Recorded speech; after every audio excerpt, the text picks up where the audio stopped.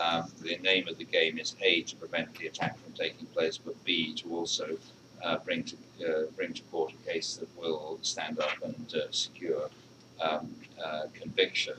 So it's been the politicization of counterintelligence up to a point. In a way, yes, and basically the role of intelligence in these investigations is to provide the lead intelligence, which enables the police know to know where to go to look for the evidence. Now, in the European model, this would be a very difficult thing to do because, as I just mentioned, the political elites and uh, judiciaries are profoundly distrustful of intelligence, and any court case in most European countries that uh, was demonstrably um, the product of using evidence based on lead intelligence, I think would struggle to, you know, to You- make You're also talking about uh, often communities that conventional police have a lot of a problem with anyway, right? I mean, the Paris suburbs, you know, Yeah. is not a place the police are particularly good at operating. They're not good at operating in, and, and at the end of the day, no matter how much the technology enables you, um, you know, this is always a kind of action-reaction dynamic in terms of you know, how the technology works. At the end of the day, you need two-legged sources in these communities, and it's quite clear that in some European countries they have few, if any, and that is something that clearly is going to have to be uh, have to be addressed. I mean, we, you know, we, we know, obviously we know that France and Belgium have their problems. I mean, what, what do we know about places like Germany and Italy that have a lot of people, that have a very large number of Yeah. arrived migrants passing through? Um, well, And um, also their own governmental issues and, and, and very serious history with intelligence services doing dodgy things. Yeah, well, uh, that, this is absolutely right. I mean, you know, the fact is that in Germany, the, the intelligence community that was established in the aftermath of World War II was designed primarily to prevent it from becoming a Gestapo again. Um, so what you've got, you, you've got a, a federal um, security agency, the Bundesverfassungsschutz, the uh, you know, Office for the Protection of the Constitution, which I think you know, is very interesting Uh, in Uh, itself. not, not, not the main tasking of most intelligence agencies. No, exactly, and and and, and e- every every land uh, you know uh, um, has its own uh, Landesverfassungsschutz, uh, its separate you know office for the protection of the constitution at a you know uh, at a, if you like provincial uh, level. Uh, you, you you also got uh, you know a- foreign intelligence service, uh, the, the, BND, which is both a, a human agency and a civilian agency. Um, um, and you know, the, the, the, you know, the Germany has considerable, you know, the, the, the, the German state collectively has considerable powers. They've also got a federal police service, which is actually uh, um, and, and the counter-terrorism capability in the 70s That's when they right, had a real problem. yeah, and, and so you know they they they they are not bad, but I think the problem with the Germans is that they are held back. Again, it's a, a political class that has basically failed, you know, done two things wrong. I think they they have failed to take effective ownership of uh, their intelligence community. Um, you know, there, there are all sorts of mechanisms for oversight, but uh, they have not taken ownership of this. I mean, all the fuss that took place over Snowden and the handling of handing of uh, German data to National Security Agency here. I mean, you know, we all know that this was done with the authority of a senior politician. Uh, the BND would not have done it uh, without that. But uh, everyone, you know, it, you know, the prevailing political fiction in Germany is that this was the BND you know, operating on their own. And this, I think, is you know, emblematic of the kind of relationship that, that exists. The other thing I think German, you know, Germany has you know, politically is that their own politicians have not really been um, uh, have not really succeeded in persuading the German people of the value of security as a public good, uh, and this is a, a problem they're struggling with. Um, so, and I think this is true uh, of European states you know, generally to, to, to varying degrees, as we've seen to some extent from the reactions to the Snowden uh, revelations, that uh, you know, the value of security as a public good has not really been um, an element in, in, in, the, in the debate. Uh, this is now, um, I think, starting to change. I mean, uh, if we're looking at, um, I mean, how, how important is the migrant crisis as, as, as, a, Yeah. as, a, as a driver of what we're seeing here? Because it certainly makes the politics harder, but it Yeah. also makes the, the tactical counter-terrorism harder, right? Well, it does, but I think uh, the, that um, um, the, the the kind of narrative that suggests that the uh, migrant tide that is now sweeping uh, Western Europe is a kind of Trojan horse enabling Islamic State to infiltrate uh, multiple operatives um, into into Europe, I think, is uh, widely seen um, as uh, not reflecting reality. It's certainly the case that some, you know, we know that some individuals involved in the Paris attacks were able to uh, uh, re-enter Europe through that route, but that was, you know, simply a tactical decision. That this was the easiest way to do it in particular And this cases. is where this is where the organised crime link comes This in, is right? where They would have got it exactly. by another route anyway. Yeah, absolutely. I mean, so so I, I think that's you know, I, I think that's not such a concern. You know, the real the real concern is is, is the, the, the, the threat of terrorism coming from people who live in these places, you know, second, third generation, and in principle have every right to be there. And that's- again, have the communities that may and, and have the communities that will actually, to, to varying de- degrees, support them. So, so there's a huge amount of work to do here. I think the migrant issue is much more about the, you know, the politics of Europe, you know, the, the, the sustainability of Schengen, um, you know, the, the ability of what is still, you know, um, the world's, you know, uh, most prosperous and largest trading bloc to actually uh, deal with um, a crisis which, in terms of absolute numbers, ought not to be a crisis, but because of the political, cultural, uh, and other factors, has, has, has become uh, an incredibly divisive and disruptive uh, issue within uh, in, between European governments. I think that's the problem, rather than you know the, the, the, this migrant tide as a kind of vector enabling uh, terrorist groups to you know to, to, to get in where they otherwise might not. I mean, it, a lot of it does come down to external border controls, at the moment, that is, Yeah. I mean, that that's where you, you've got both the issue Yeah. of people and, and, and, and firearms. Yeah. And, and, and here, of course, it's, it's, it's, it's quite clear that much more needs to be done. I mean, you know, this is one of the arguments that we get um, being repeated um, in the context of the British um, uh, referendum on leaving uh, the EU, that if we leave the European Union, we will re- recover control of our borders. Well, hmm, okay. There's still Uh, quite a large moat. Yes, indeed. I mean, yeah, and we, we well, we do, uh, and, and the fact is that I think probably Neville Jones pointed out in an article she wrote in the Telegraph a little while ago. Um, actually, um, um, European nationals coming to the UK who have uh, adverse uh, information recorded against them are refused entry.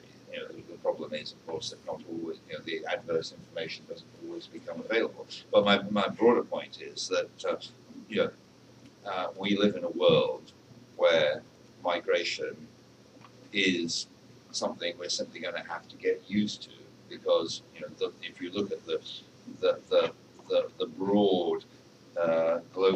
geostrategic and geoeconomic forces that are driving this tide of immigration, it's very very difficult to see you know how a bunch of uh, guys in, uh, in in uniforms wielding visa stamps are are, are, are, are going to stop it.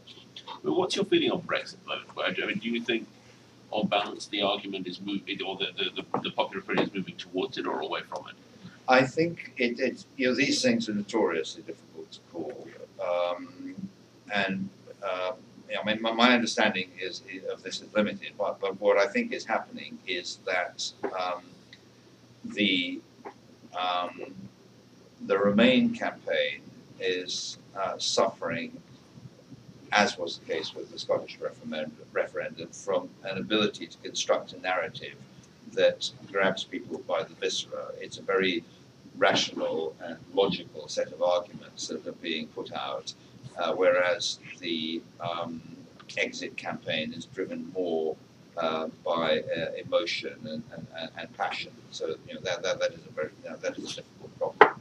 I think the, the the other factor is there is a concern that um, the elderly demographic uh, that is instinctively uh, in favour of exit will vote, whereas a younger demographic that is instinctively in favour of uh, remaining uh, may not vote. Uh, so you know that that that. So you think it could happen but probably won't, or could happen but probably will? Well, I was talking to um, one ambassador in London about this recently, somebody who's been around the circuit uh, quite a lot and in whose judgment I have a lot of confidence. He thought it would probably be 60 40 in favour of remaining. Which is roughly the same as the Scottish referendum. Scottish referendum. And of course, a, a figure like that would not kill the debate. It would simply you know, mark an inflection point before the next um, you know, time you know, we, we went, you know, I mean, a, an outcome like that won't settle anything. You know, the, the, the, the, the no vote has to be, you know, 30% or less, I think, if, you know, before you can say, okay, that's absolutely it, settled, you know, no, no need to come back. And we see in the, you know, in the, in the press, the lively debate about we will be more safe, less safe, more at risk from terrorism, less at risk from terrorism if we, you know, leave go. Well, I mean, bottom line is, you know, given our you know, inability to predict the future, um, none of these claims is inherently, um, you know, is by definition um, capable of well, you know, in, in, an empirical way. We just can't know because there are so many factors that we can't anticipate. But you know, what I do know is this: is, is that broadly speaking, um, when it comes to the intelligence and security community, um, they will never say this because you know they, they, they have to remain outside the debate. But uh, I know they feel very strongly that that uh, you know they, they, they, they would have a harder time of things if they were out of Europe than if they remain in. I mean, well, segues quite nicely the other thing I want to talk about, which is the, the, the rise of resurgence, Russia, resurgent Russia. It's kind of almost a, an almost an opposite situation to the migrant crisis. The migrant crisis drives Europe apart, yeah. may you know may ultimately threaten the European Union the rise of Russia, on the other hand, push, seems to push people together yeah. and, and it's wound up strengthening NATO, at least in the ultra short term. Well, you know, to a degree, that is true. I mean, it was very, it was very noteworthy that the 2014 uh, Newport summit, um, you know, uh, up until pretty much the moment it happened, had as its first agenda item, "What the hell is NATO now for?" Um, well, that answer, that question. Moving on to the obvious, you know, Yeah, it, it, it, it was purely demonstrated by that. Yeah, absolutely. And, and, and, and, by the time we actually got to the Summit, the agenda had uh, altered somewhat. Uh, item number one you know, um, was uh, uh, resurgent Russia. And yes, I mean, it has you know, had um, you know, some cohering effect, and it has uh, driven um, um, you know, a greater you know, a greater focus and something of a response. But it certainly hasn't resulted in uh, European nations flocking to spend their two plus percent of, of GDP on defence. And in any case, I think that is a fairly meaningless figure. Un- Unless you're the Poles, the Lithuanians, the Yeah, Latvians, who, Exactly. who have up their Who always, you know, who always you know, ha- have a sense of existential threat uh, given their history. So yeah, that is true. But what I mean, what is Russia really about? Um, I mean, I think you know, uh, uh, it, it, it, it, it's become you know, fairly clear that, that what Russia is about is probably not uh, recovering lost territory from, from the Soviet Empire. What Russia is about is uh, playing a spoiling role uh, and uh, having the ca- capability um, to keep uh, states on its periphery off balance. You know that that in, that in a nutshell is it. You know the the, the Russian military um, um, uh, reorganization and re-equipping uh, that, that that has taken place has actually been quite effective to some degree. Um, but it hasn't translated into a significant expeditionary capability. You know, the, the, the, the Russian military can't really operate uh, much beyond you know, their, their, their, their own borders. And in Syria, where they have their sovereign base. Well, they have their sovereign base, and actually, you know, and, and of course the support of, uh, uh, and consent of the regime. So, so I mean- if you look at what Russia has done Crimea, in Ukraine, um, you know, nibbling at the edges of the Baltic republics, um, it really shouldn't have been that hard, and it hasn't been that hard. Um, you know, certainly to you know to, to do do what they did uh, in Ukraine. But it's interesting that uh, you know Putin has stopped talking about Novorossiya. Uh, he is quite, it's quite clear that he's realised he doesn't need to own this rather you know shop-worn chunk of uh, real estate uh, full of rusting uh, Soviet-era uh, factories and and mines. Um, it is sufficient for his purpose to be able to press the switch and uh, um, create destabilizing effects you know, whenever whenever he wishes to do so.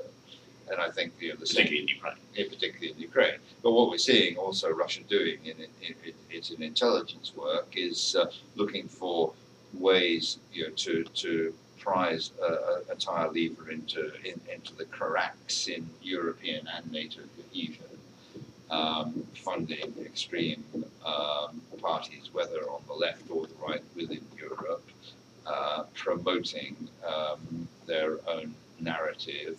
Um, this Dutch um, referendum, Dutch vote on uh, support for Ukraine, I think is you know, an, an, an interesting uh, case um, in this. Because the Russians have been trying to say, shape the debate within the Yeah, absolutely, yes. And they, yeah, this is it. It's about trying to shade the debate. It's about trying to um, blur, you know, the lines between truth and falsehood, uh, creating an alternative uh, narrative that you know nobody actually believes, but does sufficiently muddy the waters uh, to, you know, to, to create to create uncertainty. And I think this is primarily what, what we're dealing with here. Uh, I mean, you know, we, need, you know, let's, not forget that uh, um, Russia as a state is still in serious trouble. Um, it is, you know, it is, its economy remains excessively dependent on extractive industries, um, and prices uh, not doing very well. You know, institutionally, um, I mean, the, the, the fact is that the, the, the Russian state you know, is a mafia state. Panamanian uh, revelations simply you know, uh, provide one more optic on, on, on, on, on, on that situation. Um, and and um, you know, Russia, you know, if you look at the demographics of Russia, they're still heading in the wrong direction. Um, the you know, um, life expectancy uh, is nowhere near um, But by the same European token, people in. Russia seem to quite like the Yeah. resurgence they've seen in the last two years. I mean, it, it seems to fit Yeah. well in, in domestically politically. Yes, and, and, and you know, and, and it has it has you know uh, appealed to a particular uh, a particular psyche. I just trying to remember who it was said that you know um, uh, Russia always goes through these cycles when they peep over the palisade, uh, like what they see, decide to give it a try, then get disenchanted and re- uh, retreat behind their palisade. And I think that's kind of what we're seeing at the moment. But you know, we're, not talking here about the Soviet Union. I mean, you know, the, millions of Russians uh, travel freely, own property overseas, have money outside Russia, and indeed, this is actually a big problem for, for the Russian state. Is that any Russian who's got money, first thing they're going to do is think which Swiss bank, um, and, and you know, but but uh, it, know, the Soviet Union was was an open prison. You know, you could not get out. It was as simple as that. When we got Oleg Gordievsky out of uh, the Soviet Union, you know, the, the, the Soviets were absolutely discombobulated. This was something we'd done that was not supposed to be possible. you know. Uh, so it was an open prison. It's not an open prison. And indeed, it, I mean, it kind of it cuts both ways, right? In that, Yeah. you, in that Russia now owns half of London, Yeah, yeah. which changes the dynamic in Yeah. every conceivable dimension. And we saw this when uh, the, the, press you know, push was on to impose economic sanctions because of uh, Crimea. You know, there was a very powerful constituency in the city of London, but also in other countries, in Germany, Italy, um, you know, that, were very discountenanced by the prospect of uh, financial sanctions. And of course, this is another you know, area where. you know, I mean, I, I, I mean, I haven't seen any discussion of it in the Panama Papers. No one seemed very concerned that these sanctions would work well enough to, No. to stop to stop people, including Vladimir Putin, getting their money out and around. No, no. Well, I mean, this is it, and, and, and the problem is always with this kind of sanctions that you know they're, they're, they're always you know, people always say that the aim is to try and uh, minimise the impact on uh, the ordinary people of, of, of the state affected. But guess what? You know, who, who tends to be affected most by sanctions? Ordinary people in the state affected. Uh, the elite always finds a way around. No, it's, it's, mean, it's an interesting kind of dynamic. I mean, uh, we've seen General Breedlove, Secretary of Command of Europe, talk about the weaponization of refugees, which, which seemed essentially to be an accusation that Russia was destabilizing Syria with the deliberate strategic goal destabilizing Europe through sending large numbers of refugees. Do you buy that argument, or do you think that's that's Not entirely. I, I mean, I think the situation suits Russia, and they're, you know, they're, they're, they're entirely happy uh, to watch this uh, situation. But uh, we didn't need Russia to destabilize Syria. Syria was doing doing a fantastic first-class job of destabilizing itself before the Russians came along. and the conditions that created these refugee flows. Bear in mind that most of the refugees who have made their way to Northern Europe, Southern Europe, are people who were not fleeing directly from Syria. They'd already left some while ago for camps in Turkey, you know, Jordan, Lebanon, etc., and they'd given up. You know, they, they'd give, you know, they were hoping that, that they would be able you know, to effect a reasonably rapid return to their to their homes. And one day they woke up and realised this was not going to happen. And you know, what we have been seeing is progressive uh, uh, draining away from Syria of um, mainly um, upwardly mobile, educated, um, skilled, uh, middle class uh, people, uh, precisely those that the Syrian state can least afford to lose. But, But who didn't have a viable route back to but the Syrian didn't have state. A, yeah, exactly, didn't, uh, and I just didn't see um, a return to a viable Syrian state. Uh, and they simply abandoned their homeland and gone off to seek their fortune elsewhere. What's I mean, what's your base case scenario for Syria at the moment? Do you think that we are? I mean, uh, the head of the ICRC was in Harvard last week and said he thought that exhaustion was setting in to the Yeah. degree that we might be closer to the end game than, than, than some people would expect. That may be right. I mean, in the sense that uh, the ceasefire has held for a rather longer and rather better than anyone had imagined when it was uh, first uh, first negotiated. Um, and I think it, it may well be that there's a degree of uh, exhaustion setting in. I mean, uh, notwithstanding Assad's uh, hubristic uh, utterances lately, uh, the fact is that uh, he has been saved by two things. Firstly, the Iranian interventions, the Revolutionary Guard, and so on. But they could only stem the tide; they couldn't reverse it. What reversed the tide was Russian airstrikes. So it's these two things that have um, um, kind of you know, saved the Assad regime. And even the Russians, you know, have made clear their skepticism about uh, Assad's aspirations to recover you know, the whole country.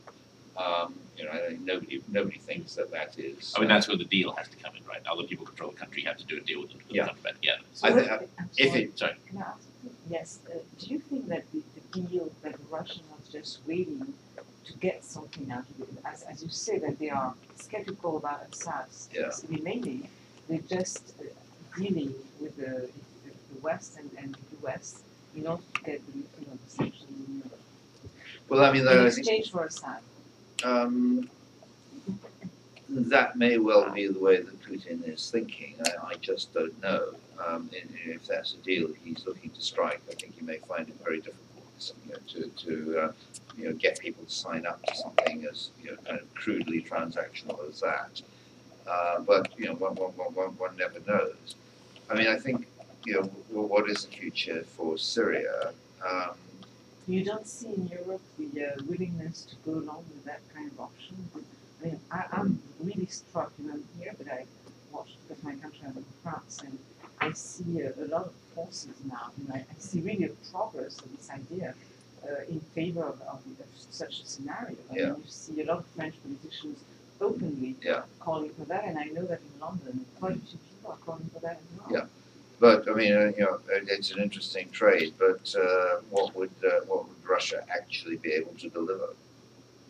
I mean, I just want to say, Uh, I don't think they can. I'm not sure they can. That's the point. You know, I just want to say, open up to any other questions. Um, anyone else got any other questions at this at this juncture? If you can, uh, yourself at the back, just say, if you can just say who you are and then ask your question. Um, my name is Alex. I just finished my master's in London School of Economics, where I took a class actually on secure intelligence with Sönke Neitzel. And my question is sort of strange, but Foreign Affairs magazine said that francophone countries tend to be higher targets of terrorism Yeah. and Islamic extremism. Why do you think this is? Is it because of politics or security policies, or is it simply a legacy of different colonial methods? Mm, interesting question. Um, I mean, obviously, you're talking, you know, when francophone um, countries, you're talking not just about France, but about West Africa and, and the Sahel. Um, I'm not sure that it's, I, I'm not sure that the French language is uh, primarily uh, responsible for this, I have to say. I agree. I was just Yes, I mean, the, the Académie Française has much to answer for, but uh, um, no, I, I, I think it's much more to do with you know the particular set of circumstances that prevails, particularly in the Sahel, where what has happened is you know you, you've had a particularly toxic mix of uh, economic deprivation and underdevelopment, uh, a long-running, unrequited, uh, you know, Tuareg um, uh, aspiration to to have uh, its own uh, homeland of, of some sort, um, and the usual problems of uh, weak or non-existent uh, governance, you know, or, or uh, you know, plus of course the fact that the Sahel traditionally has been a major um, cross Africa transit point for trade, whether licit or illicit. So all of these things have kind of come come together. Um, actually, if you look at France and uh, Belgium, until relatively recently, they, they have not been uh, that. Uh, I mean, they didn't invade Iraq. Don't forget. So They they, didn't they, invade they, they avoided yeah. the they avoided the Iraq backlash. Well, I think that is exactly right, Peter. Yes, that uh, and, and, and part of what happened, in, certainly in the UK, was you know quite clearly you know connected you know to the the direct uh, in, in, involvement in Iraq. Since then, of course, France has uh, do you know. Uh, not least because they didn't carry with they don't carry this incubus of you know sort of post Iraq uh, war fatigue. Um, uh, have been very you know active uh, you know, in Libya, in uh, in Mali, um, um, and, and and you know that level of interventionism may well be a factor that, that is affecting uh, domestic uh, levels of, of radicalization within France. I mean, I think it's also worth. I mean, it's easy to say that you know Ivory Coast got just got hit. It's Francophone, but I mean, East Africa, where, Yeah. where the Ugandans and the Kenyans Exactly. have been fighting a very long-running counterinsurgency campaign. in Somalia has been hit Mm. way more Yeah. than, than kind of than Christian West Africa. I mean, there's a bunch of Yeah. for that, not least that everyone in Christian West Francophone West Africa had Ebola last year. Um, but um, you know, I think, uh, yeah, I, mean, I, I, I, I don't know about Nigel, but in my experience, you know, if you've got Yeah. a bunch of Anglo-Saxon foreign policy types, the chance to say something else is like the mini about the French. Yeah. And, um, And, and, and the converse true. will apply. Morgan. Well, also that only talks, if I recall, that study was only about Syria. Yeah. It wasn't about any, anybody else. So Syria is the actually did place where. include Cote d'Ivoire and Libya. Okay, yeah. Okay, well the the way that the coverage was was that it was about Syria, Yeah, this is yeah. Yeah. Of course, it's always the coverage. right? Yeah, but again, if you if you look at East Africa, the point that Peter picked up on, what you've got there is you know a, a raft of problems that, that intersect with a long-running geopolitical issue of Somali irredentism. You know, so that, you know, the, the, these things. I mean, I know that because you know there was a Shifta war in northern Kenya in the 1960s. I remember them from you know direct personal experience. Um, and uh, you know, so, so you know, what what you're seeing um, is again, you know, um, ideology radicalization as you know uh, a kind of catalyst um, for situations you know that that already are already largely there. Someone else had a question. Um, Yes, Yourself. here. Uh, hi, my name is Kate Lavender. I'm a graduate student at Johns Hopkins School of Advanced International Studies and a journalist at the Cyber Um, so going back to Russia, can you just clarify for me? So if Russia is not interested in territorial expansion um, or in any kind of beneficial economic relationship with per- periphery countries, what is the main purpose of destabilization? Is it domestic and international political credence? I think it's basically to create a buffer zone. Okay. Yeah. so Uh, uh, when you say they're not in favour of territory, I mean actually they, they do want to be able to destabilise the Yeah. immediate area, right? Yes, Even if it's only like 25, 40 Well, miles. well, well, what, what they really want to do is to deny anyone else, you know, a, a potential adversary, NATO, the United States, whatever, you know, the ability to um, exercise influence or effect in those territories. So it really is, I think, about you know, creating a buffer zone. I mean, they may in that they may have been. I'll, let you follow up in a second, but I mean, in that they may have been perversely massively unsuccessful, right? Particularly in the Baltics. Yeah. I mean, I think the British ambassador was there yesterday with the Salvation Army, the sort of you know, the you know, I presume the Arab and the little remit. But in uh, you know, you're doing doing you know, where EU NATO institutions are doing more in that frontline area than they would ever have done had Crimea not happened. Right? Oh, absolutely. And, and you know, there, there is now a serious debate about, um, you know, permanent basing in some of these areas, which, you know, Coming basically quite far forward. Yeah, exactly. Which two or three years ago would, would, would have been anathema, and, and now people are talking seriously about this as, uh, uh, you know, as, as a prospect. So to that extent, yes. I mean, I think um, you know it, uh, it it may um, you know it may turn out you know, to, to, to have been uh, counterproductive, but I don't think it's going to stop the Russians from pursuing the policy. as I said, you know, their main concern is to make sure that nobody else is able to exercise uh, effect in their periphery um, um, to their detriment. Any other questions? Uh, Melina. um, Milan Robin, global fellow with PS Twenty One. Um, what what do you are your thoughts on the recent conflict between Apple and the FBI over encryption, and what do you think is the private sector's role in helping fight terrorism? Yeah, well, you know, the, I mean, the, the, the Apple case has brought this into stark relief. I think it's a very, very bad case, and as lawyers, I want to say, you know, hard cases make bad law. Um, you know, it's not the greatest uh, terrain um, on, on, on which uh, to fight. I mean, a company like Apple it makes a huge contribution to, to the US economy. I don't know what percent of uh, the US economy um, derives. was America's most valuable company. Yeah, I think it may be, a, uh, it could be as much as 6% of GDP. It's massive. Um, and and, and um, uh, trust, you know, it's a, it, is a, it is a multinational company. It does more business outside the United States than it does inside the United States by some some margin. Of course, it, it's, it's not the only one. Um, and if um, significant levels of global distrust um, impact uh, to the detriment of Apple's business model, then you know that is a serious factor that has to be taken into account. I mean, it's worth Research in Motion, who ran BlackBerry, Yeah. fell afoul of giving lots of keys to lots of governments. Yeah. and No one uses Well, BlackBerry anymore. Yeah, exactly. Yeah, yeah.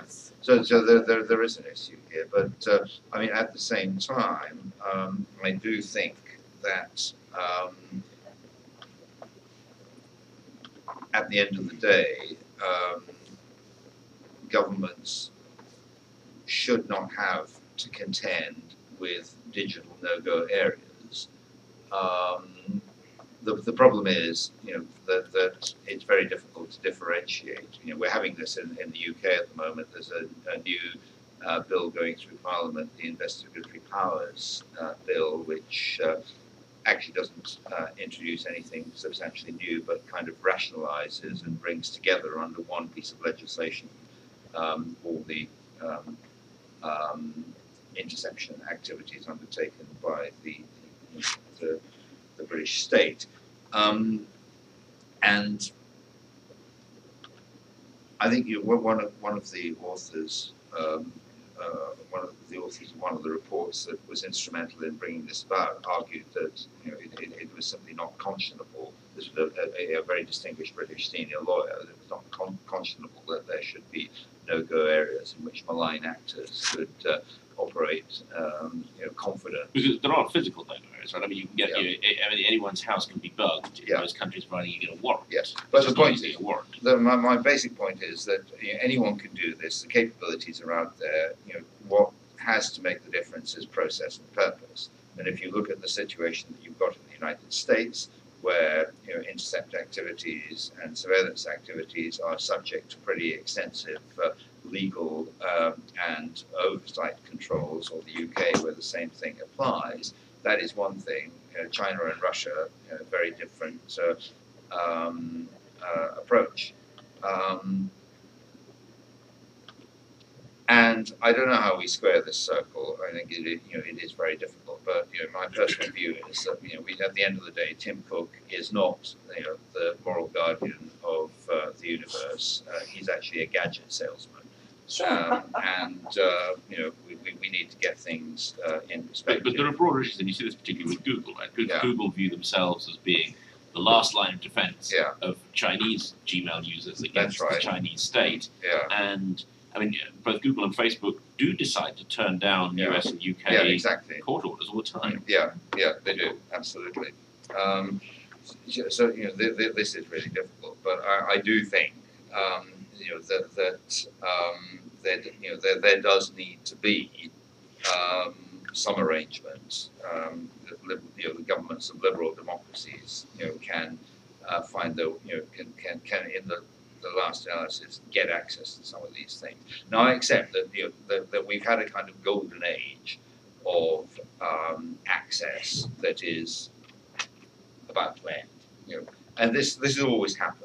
You know, in in in, in, in, signal, in the signals intelligence world.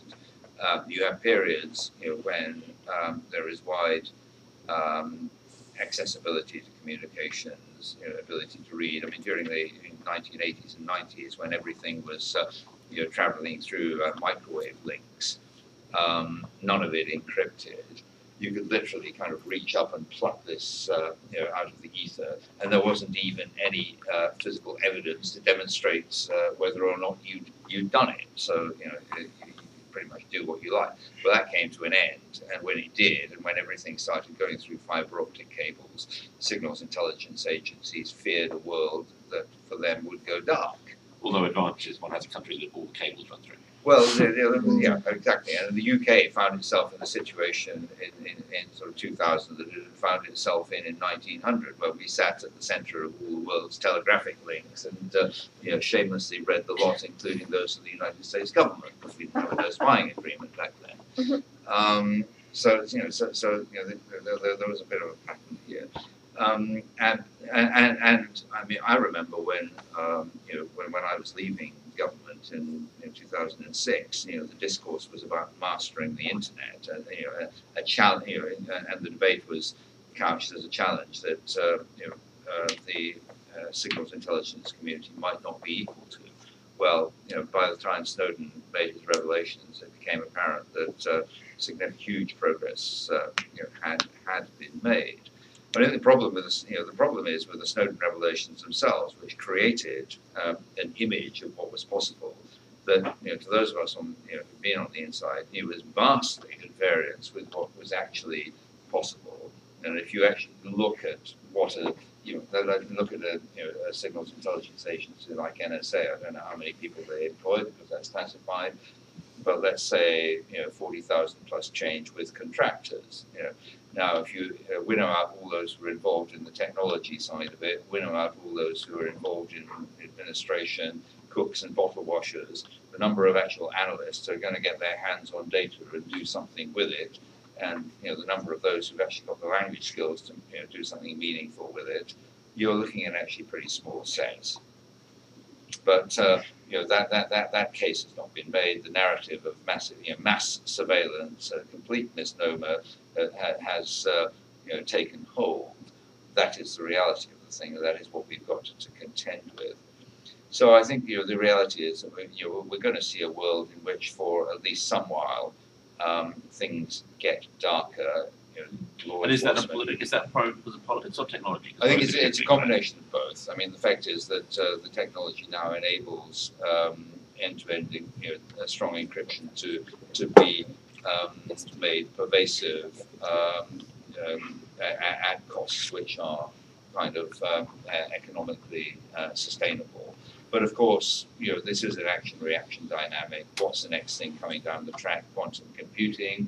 If quantum computing ever does get to the point where, you know, it is, you know, uh, effectively operationalized, and you know, if you look at what's happening with quantum computing, there's some very interesting things going on, but nobody's quite sure what these are or what effect they're going to have. Um, you know, but at least in theory, um, successful quantum computing would would blow away uh, all the encryption that we have uh, currently got. And there will presumably again be a bright shining window for SIGINT agencies where they had the three quantum computers and everyone else did. Well, I And think then, yeah, and, and, then, and, and, then, and then you would move on to the next stage. Exactly, and, uh, then quantum computing would, you know, would become like you know the And then Sony Walkman in the 1980s. Everyone would have one, and the mobile phone, and yeah, and, and so it, it's always going to be you know up and down. But I do think you know we're going back to this that uh, that um, you know that, you know. I, I, you know, Apple is, you know, a multinational corporation, but it is incorporated in the United States and pays taxes here. It is a beneficiary of the public good of security that the United States government and its agencies uh, provide. I do feel, personally, I'm speaking purely personally, I do feel that they have a responsibility that they need to exercise. How we, how we get them to do this in a way that doesn't uh, damage their business model, and uh, that's an important qualification, I don't dismiss that at all, i- i- is, is not straightforward. But I don't believe it's, it's impossible to find a way. I'll take one more question at the back. Uh, my name is Justin Wilson, I'm a communications and media strategist and focus on international affairs. Uh, a past client was Turkey, and I know Turkey constantly complains that not enough is being done with information sharing. So my question is, what's your thoughts on that? Uh, I know there were some prominent examples in the last few years where UK young adults were um, either successfully got into Syria from Turkey or were thwarted from doing so based on uh, Yeah. information sharing. Well, you know, the Turks probably have a point. Um, in, you know, in, in, information sharing in this domain is, is, you know, is a product of trust. Um, and there is frankly you know, rather less trust uh, vis-a-vis you know Turkey at the moment. Um, What's driving that? I think, to some extent, I think it's the politicization of uh, the, the Turkish intelligence service, uh, which has become incredibly politicized. So part of the, and also which makes it part of the broader disquiet over over over. Absolutely, and indeed, I think. That, but but I mean, you know, look at the end of the day, um, you know, the, the, the, what we're talking about here is a very imperfect art. We're never going to get a hundred percent uh, record or, or anything uh, remotely like that. You know, the best systems that can be devised, you know, some things will, you know, th- you know, some things will get through, some things will happen. The point I make is that. Uh, you know, the, the, the, that Europe is an open society, not an open prison um, you know, we operate on the presumption that people can travel where and when they, you know, they wish to do so. Um, and uh, you know, I'm, I'm kind of, you know, you know, speaking purely personally, I'm kind of hoping that we'll be able to sustain that model because I don't want to live in an open prison. Even when there's like site, like even one of these Belgian terrorists, for example, I think they've said that that was someone flagged by Turkish authorities. Yeah, yeah. Um, and I'm just purely Yeah, I'm sure, I'm sure. I'm sure that is absolutely true. But what, what, you know, I mean, but I would actually make the point, you know, based on, on, on personal experience, that when these claims get made publicly by governments, um, the real issue is normally not about intelligence sharing or um, you know the, the kind of technical and professional aspects of intelligence cooperation. The real purpose is political. To make a point. Oh, well, I'm gonna I'm gonna I'm gonna finish it off there. But thank you very much, Nigel. That's been a, a truly fantastic discussion. Um, we will continue to use and abuse your good offices as as and when we can. Feel free to do so. Um, but thank you very much indeed. Thank you, everybody else. We were PS21. If you have been here, you will therefore be on our mailing list, so you'll be invited to other discussions. The next one will be a similarly exit, uh, excellent but broader discussion on Brexit uh, with a couple of Brits and a couple of pollsters and a couple of Americans who understand these things next week. Um, I believe on the 13th at uh, 3 p.m. Uh, and uh, thank you very much indeed. Thank you. So, Peter, you don't describe to Edward Luce's contention that think tanks are so 20th century. I think most of them. uh, no, but I, I would, I, I, I, I, I wouldn't want the ones that are actually a bit toxic in the DC.